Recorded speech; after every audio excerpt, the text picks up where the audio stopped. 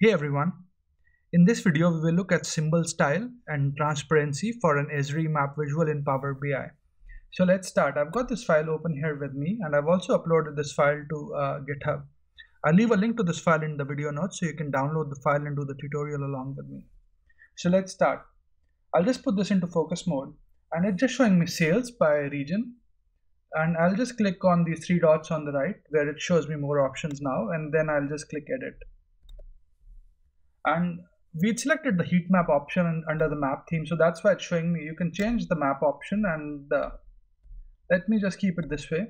And then I go to symbol style and it gives me a few options. So it's giving me transparency option so I can make it more transparent. And you can see as I go towards 100% you know I can probably at 100% I can't see anything. But lesser transparency shows me the heat map. And then I can also increase or decrease the area of influence so I can move this around a bit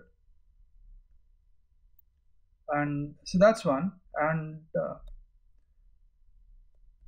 I'll just go down and I can change the the color um, coding for this as well. So let me just move this around.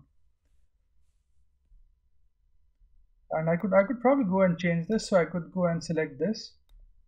Or I could go and select this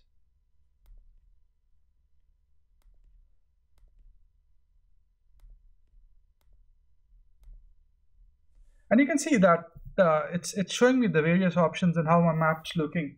And it depends on the map theme so I could go here and select something else. So let's just go down a bit and uh, select something else. And all of a sudden it's giving and now if I go to symbol style and it give it's giving me symbol I can select a diamond or I can select a square. I can reduce the transparency.